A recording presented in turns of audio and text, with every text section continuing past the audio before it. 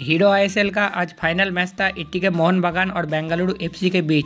तो दोस्तों, final match को इट्टी के मोहन बागान ने पेनाल्टी शूटआउट में चार तीन से अपने नाम किया और इट्टी के मोहन बागान पहली बार चैंपियन बने हीरो आईएसएल के इतिहास में। तो दोस्तों इट्टी के मोहन बागान के लिए विशाल कैथ ने पेनाल्टी सेव कर दिया था, जो कि तीसरा पेनाल्टी था बेंगलुरु एफसी के लिए। उसके बाद आखिरी जो पेनल्टी था पेरेज बेंगलुरु एफसी के लिए पेनल्टी मिस कर दिया। तो इसी वजह से एटी के मोहन बागान इस मैच को जीते। तो आप लोग देख सकते हैं एटी के मोहन बागान के सभी खिलाड़ी बहुत ही ज़्यादा खुश थे। और विनिंग मोमेंट भी बेहतरीन था, क्योंकि दोस्तों प्रीतम कोटाल जो कि कप्तान है एटी के मोहन बागान के, वो बहुत ही ज़्यादा खुश थे। पहली बार कप्तानी कर रहे थे एटी के मोहन बागान के लिए और पहली बार ही चैंपियन बन गए। एटी के मोहन बागान के लिए आज पेट्रोटॉस ने दो गोल मारे तो इसी वजह से एटी के मोहन बागान इस मैच को जीते।